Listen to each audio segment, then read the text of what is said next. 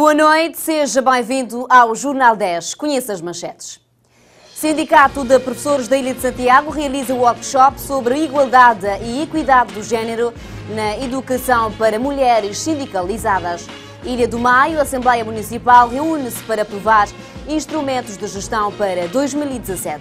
A Queridas e Advic, respectivamente, celebram hoje o Natal.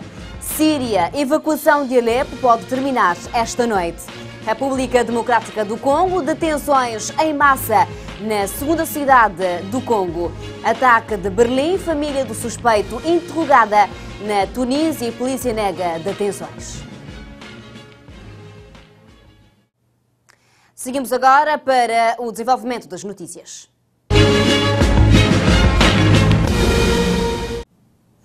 Começa neste momento o Jornal 10. Uma vez mais, seja bem-vindo.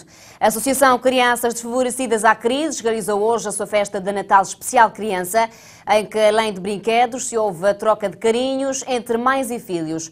Além de oferecer brinquedos para 150 crianças do bairro da Bela Vista e Tira Chapéu, entregaram cestas básicas.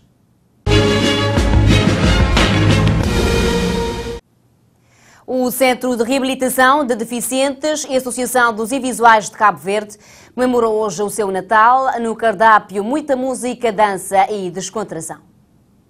Os invisuais e portadores de outras deficiências mostraram que a deficiência em nada os tirou a vontade de festejar o Natal com muita alegria e diversão. O presidente da ADVIC, Mariano Monteiro, falou-nos de como é a convivência dos internos no dia a dia. Então, tem um grupo de internatos ali que vive seus dias, seus dia a dia ali, os estudantes e esse também de de alguns conselhos de de Santiago, também mesmo de algumas ilhas ali de, de, de, de, algumas ilhas ali de Cabo Verde. No entanto, eles, se me falei, estudantes, mas também eh, nos dia a dia que que fica só dentro desses, desses quatro paredes. Não tem também pessoas com deficiência visual que que reside ali e que de certa maneira também eh, recebe apoio tanto de, de ADVIC. Ou seja, nós é uma organização de âmbito nacional. Por isso, nunca está uh, uh, restringe apenas que estudantes que residem ali, ali na lar. Faltam três dias para o Natal. A ADVIC, apesar das dificuldades financeiras, conta sempre com parceiros e amigos para proporcionar aos internos um momento diferente. Na tempo de festa, normalmente, sendo para si meios, está proporcionar sempre um ambiente diferente, modo aquele que nos está ali, está ali nesse momento. Mas a DVIC tem dificuldades financeiras e esta conta sempre com o apoio de parceiros, amigos e colaboradores para realmente poder proporcionar esse ambiente uh, diferente que é exatamente aquele que nos está nele, né? E se que fosse ehm, as parcerias, e então aproveita para agradecer imensamente de profundo coração em nome de tudo pessoas com deficiência visual que estão ali nesse momento tanto esse apoio de tiver que faz possível a realização de as nossas atividades. A ADVIC tem as suas metas para o ano que vem e o Presidente enumera alguns desafios. Desafio é sempre a procura do melhor. Nota conta que no próximo ano outras pessoas, outras instituições, outros parceiros te seguem esse modelo de Tiver para que realmente não pode apoia de melhor forma e com maior eh, número de pessoas com deficiência visual ali eh, presente. Portanto, ali o desafio é começa a trabalhar a partir de janeiro para que não tenha eh, o Natal de 2017 muito mais repleto do que esse que nos tem hoje. No momento, ADVIC precisa de apoios significativos para que a alegria de hoje seja um constante no seio dos internos.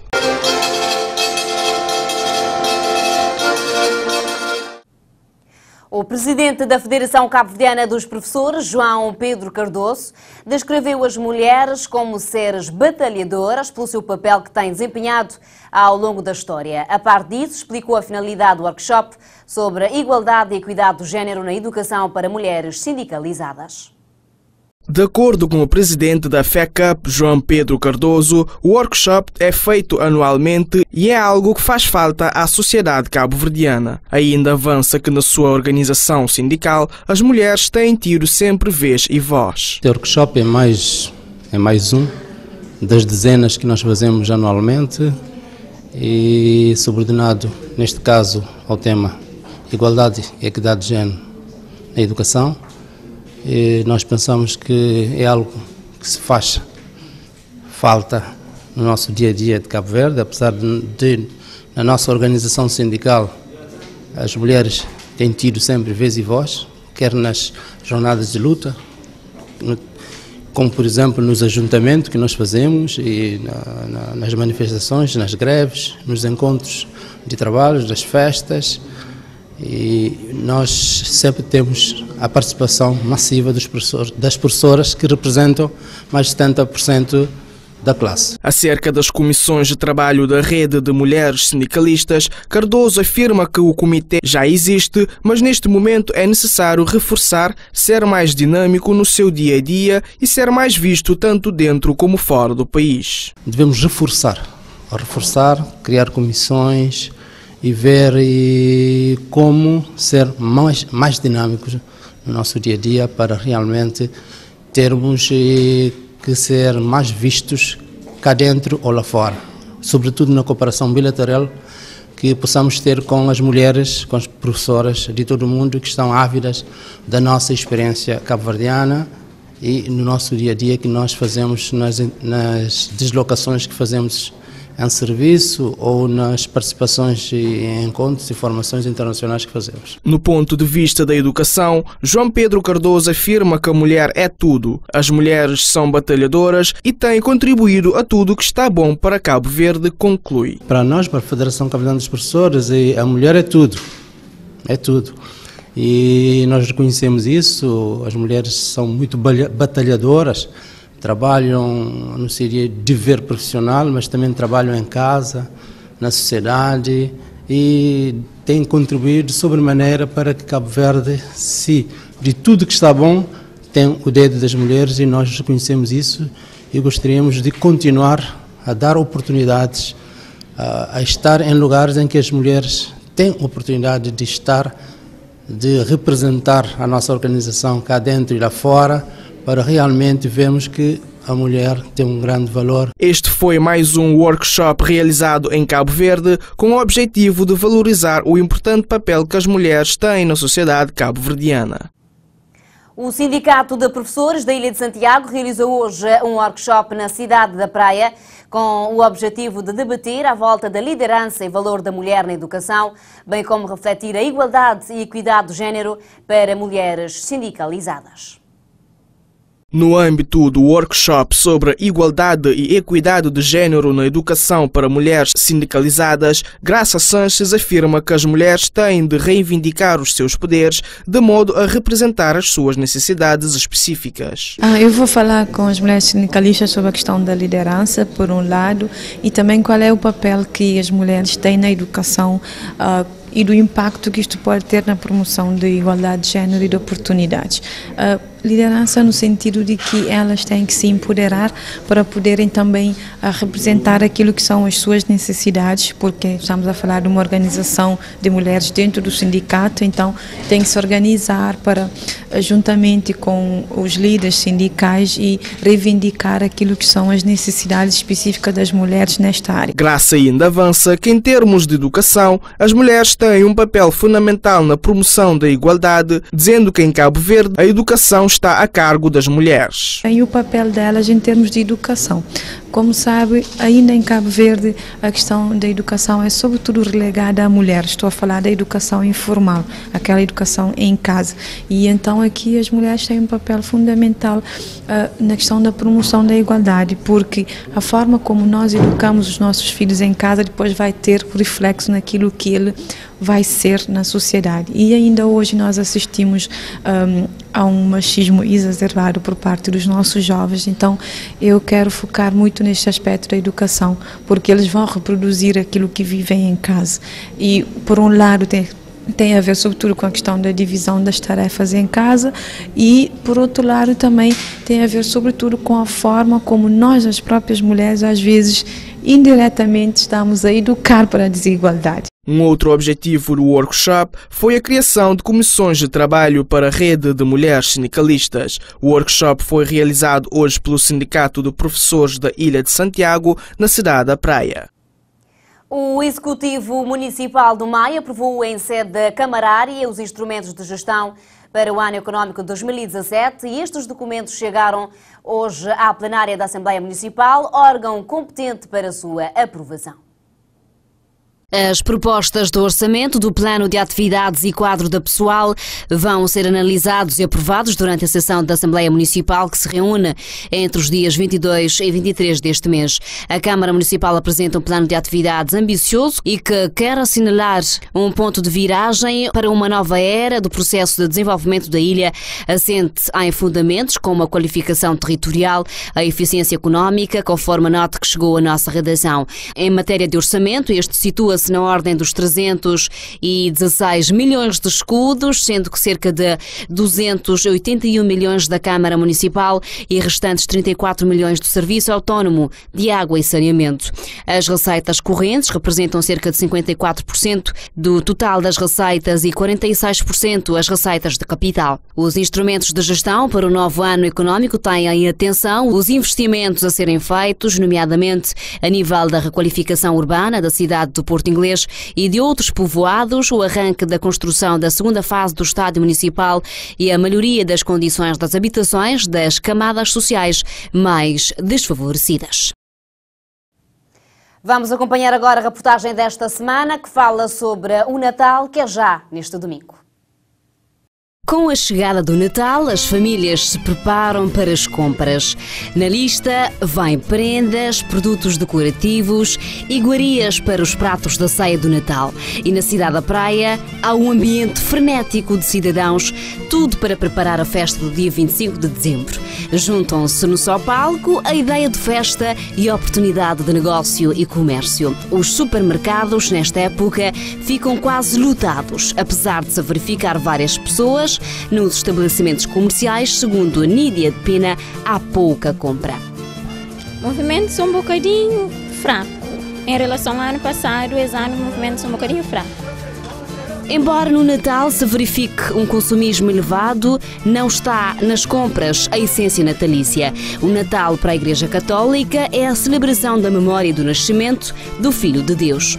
Porém, de alguns anos a esta parte se vem ganhando contornos marcadamente consumistas. Várias pessoas procuram produtos alimentares e presentes para celebrar o Natal com os familiares e amigos. Para proporcionar uma satisfação completa dos seus clientes, os comerciantes lançam promoções. Alguns diminuem o preço dos produtos, outros definem um preço limite da compra em que no fim o cliente recebe um brinde. A lógica é sempre mais compra e mais venda. No entanto, para alguns preenses, os preços ainda não estão acessíveis a todos, enquanto para outros estão razoável. Quanto ao chamado ambiente de Natal, consideram que está bom. A minha Natal está ótimo, só o poder de compra que está mais, mais pouco, só essa queixa tinha o poder de compra, mas do resto tudo dá de uma sacola direito, está bom ambiente. É minha primeira vez que se passa Natal na praia, mas está fixe, o preço está razoável. Tem uns que são mais baratos, que são um bocadinho mais caros, mas está para bem. Alimentar já subiu um bocadinho, principalmente de mercado mas brinquedos está em conta também. Bom, e relativamente a produtos, peço acessível. E acessível digo, para depende de bolso de cada um, né? Para mim, na minha opinião, é acessível. E relativamente a Natal, na rua Tarapoja, mas um clima natalício. E que importante também para cada um lembra, não só Natal é trocas de presente, não é? e amizade paz, mas também é fundamental é nascimento de meninos Jesus. Natal também é associado à ceia e à convivência. entre parentes e amigos. Por isso, são várias as possibilidades de pratos tradicionais próprios da época. O peru é o mais tradicional, tendo sido usado desde o século XVI na Europa. Entretanto, as tradições dos pratos variam em cada país. Em Cabo Verde, a ceia se faz de uma mistura de pratos tradicionais europeus, com destaque para Portugal. Prato de Natal é aquele, digamos, que é clássico, que toda alguém conhece. Dia de Natal, portanto, não sei, Natal botando um peru na mesa, tem um leitão, uh, e cada fugi gosta ali, uh, é um bom bacalhau para mim, o bacalhau que tem da tinchou é bacalhau cozido com todos. Tinchou tem que optar para fazer bacalhau com natas, uh, bacalhau de, de, várias, várias formas. Uh, tem eh, dois tipos de, de menu que poderia apresentar. Um menu que fica um, um bocadinho mais caro e um que fica mais econômico. De mais caro, não te, não te propor um peru assado ou recheado na forno e uh, um prato de bacalhau cozido de bacalhau que é, também pode ser bacalhau assado na forno com batata morro e ou em vez de peru leitão assado ou recheado na forno com ervas aromáticas. Que ali é prato mais um bocadinho mais puxado. E uh, aquele prato que é um bocadinho mais econômico pode ser em vez de peru alguém pode escolher pato frango e de fazer de mesma forma que tempera igual a peru. Rechear se quiser se quiser rechear está a sal apenas. E, e em vez de leitão porque leitão é caro pode ser perna de porco assado perna de porco temperado de mesma forma bem temperado depois tem que ter aquele pré-cozidura antes de levar para o forno, bom, senão a hora que põe no forno fica rijo. E depois também tem no forno. À mesa, geralmente, predominam carnes, bolos, salgadinhos, tortas, entre outros. Porém, há outros tipos de pratos que podem ser feitos também nesta época festiva, sobretudo para as pessoas vegetarianas. Para que é seguinte que é vegetariano, por exemplo, que está comendo nem peixe nem carne, não tem pene vegetariano, pode ser pene vegetariano, que leva um bocado de legumes, legumes também de cogumelo, tá saltia, pene cozinhada à parte, tá pôr na, na pene. Se alguém gosta de molho, tá prepara um molho à parte, tá põe naquele pene. Não tem também arroz, pode fazer arroz também vegetariano, que é vegetais cozinhado à parte e feito aquele arroz aquele arroz salteado, cozinhado solto à parte, bem mistura com aqueles vegetais. Relativamente às bebidas para acompanhar a ceia, aconselha-se o vinho, que pode ser tanto branco como tinto, mas também os naturais. E para as sobremesas, há uma variedade, entre as quais. Vou fazer bolo escuro, bolo de chocolate, mais concretamente chocolate que tudo quem gosta, que os bolos de variedades de cores que antigamente da fazer a que crianças está gosta. Agora que é um bolo colorido com várias cores, e da show uma atenção. Torta, que esse tronco que não está fazendo sempre de Natal, alguém que deixa de pôr um tronco na mesa, bonito, que além de bonito, saboroso. E, aquele pudim, um pudim de queijo, um pudim de leite, para acompanhar aquele ceia de Natal.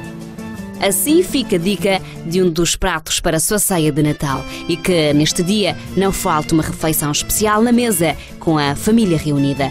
Que esta época natalícia recheada de sabores traga mais brilho à sua vida.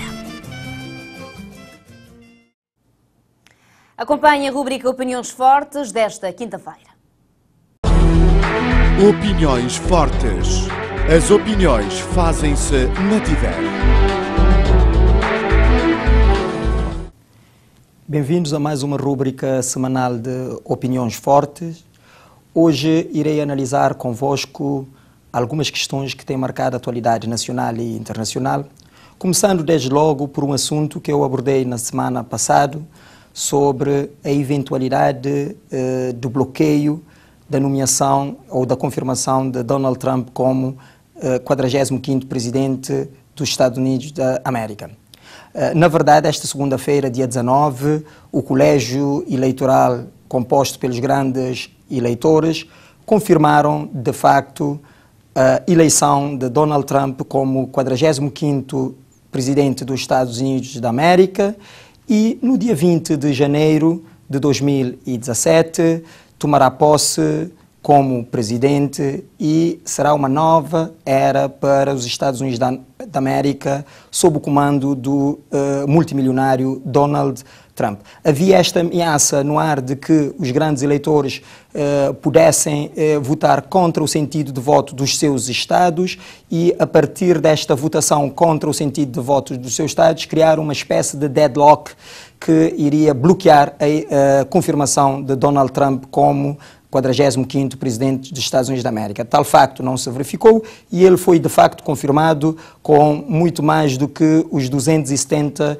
votos necessários uh, no grande uh, colégio dos grandes, dos grandes eleitores.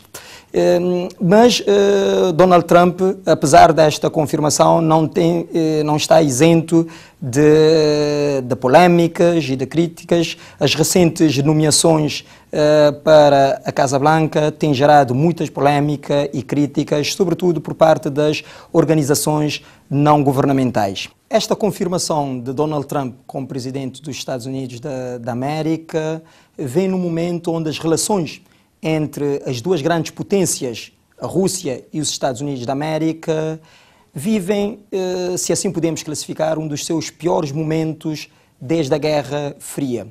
Tudo por causa da crise na Síria e, mais recentemente, da situação catastrófica de Alepo. Com a eleição de Donald Trump, vem mexer um bocadinho nesse xadrez e as nomeações, as recentes nomeações para a Casa Blanca têm mostrado esta indicação de uma aproximação no diálogo com a Rússia, essas duas superpotências mundiais, e prevê-se um 2017 com a uh, tomada de posse de Donald Trump no dia 20 de janeiro, uma nova ordem mundial de relacionamento entre os Estados Unidos da América e a Rússia. Há essa jogada no xadrez da política e da diplomacia internacional e a própria confirmação de, dos assessores de Donald Trump de que uh, o mesmo efetuará uma visita à Rússia após assumir uh, como presidente dos Estados Unidos da América a 20 de janeiro, mostra claramente este aproximar entre a Rússia e os Estados Unidos da América, críticos de um lado e do outro, de que isto é muito bom para a ordem mundial e para o mundo globalizado, outros que eh, veem com um olhar desconfiado dessa aproximação e da sua linkagem com eventual domínio ou controlo das questões ligadas ao óleo, ao petróleo e ao gás eh, do Golfo México e de outros eh, locais no nosso globo. Bem, isso são questões para 2017, eh, mas eh, nesse final de ano e no início do próximo ano apontam essas questões importantes na ordem mundial e no xadrez da diplomacia internacional que convém estarmos atentos e irmos seguindo. Esperamos que tudo isso venha no sentido de contribuir para mais paz, eh, mais harmonia e um mundo cada vez mais eh, global e de oportunidade para todos. Outro facto marcante que queria comentar aqui convosco tem a ver com a recente indicação do ex-primeiro-ministro Dr. José Maria Neves e da ex-ministra das Finanças Cristina Duarte como fazendo parte de uma lista restrita das 100 personalidades africanas que marcaram o ano de 2016 em termos da transformação da África em 2016.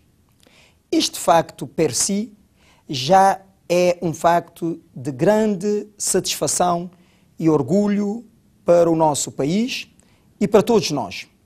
Primeiro, porque não é todos os dias que personalidades, ilustres personalidades da nossa terra, são indicados de entre uma lista restrita e selecta de personalidades africanos de topo que transformaram o continente durante o ano 2016.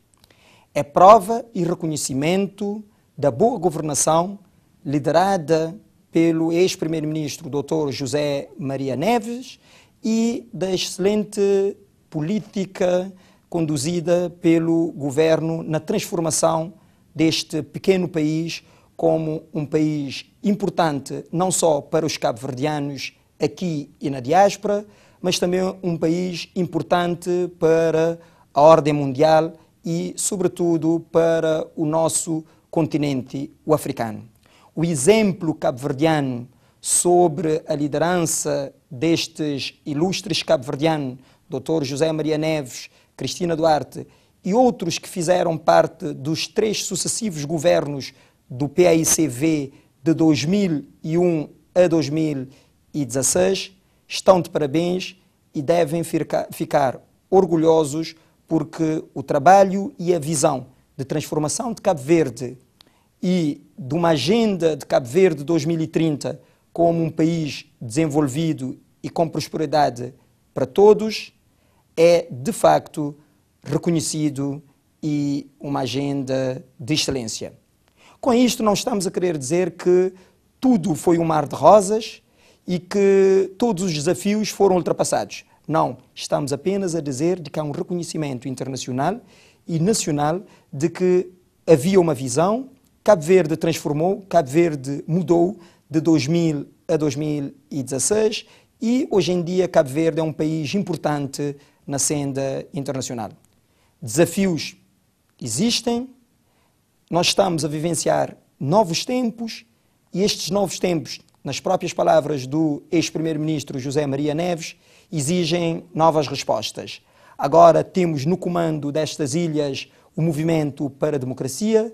Nós auguramos que, de facto, exerçam o poder com a responsabilidade e com o sentido de Estado característico dos sucessivos governos que têm governado Cabo Verde desde a sua independência em 1975 e, no essencial, que o nosso país, Cabo Verde, desenvolva e que haja mais felicidade para as famílias cabo-verdianas, com mais emprego e mais segurança para todos. Mas eu não poderia deixar de comentar este facto, dando os parabéns aos visados, Dr. José Maria Neves e doutora Cristina Duarte, como ser, pela indicação de eh, como duas personalidades cabo-verdianas a integrar a lista das 100 personalidades africanas que transformaram o continente em 2016.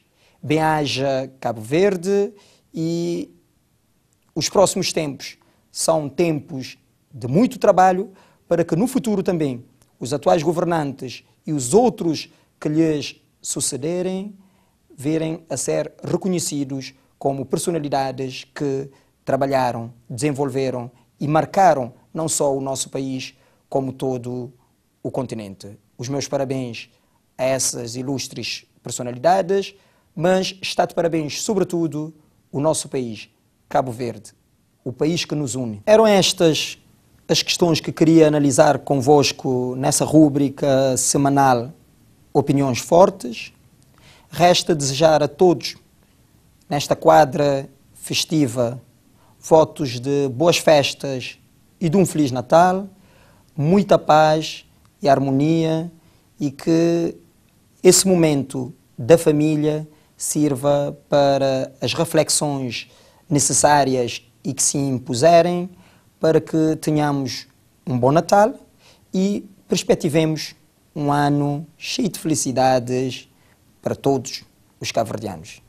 Muito obrigado, boas festas e um Feliz Natal. Opiniões fortes. O elenco semanal. Vamos dar uma volta ao redor do nosso continente e conhecer as principais manchetes de hoje.